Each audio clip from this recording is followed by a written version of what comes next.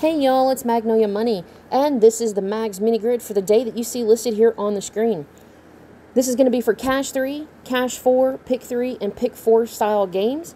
You can use this in reference to whatever other methods you're currently using. Be sure to hit subscribe if you have not yet already, as well as check out the memberships and the other content here on the channel.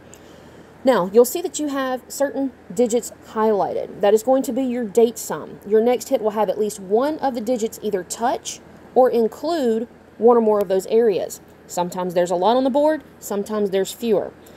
Your next hit will either touch or include off of those, and you can also reference your previous hit number. If you find it in the base form or mirror form on this chart, then you can use that as a guide as well on where to look for your next hit. Not only that, but even if you don't see that number, you can also use your coldest digit, your second coldest digit, or a digit that you feel may roll from your previous draw. Those are good techniques to use in order to know where to start at here on this chart. Let me know where you guys are playing from, and I'll see y'all soon. Good luck. Subscribe. Later, y'all.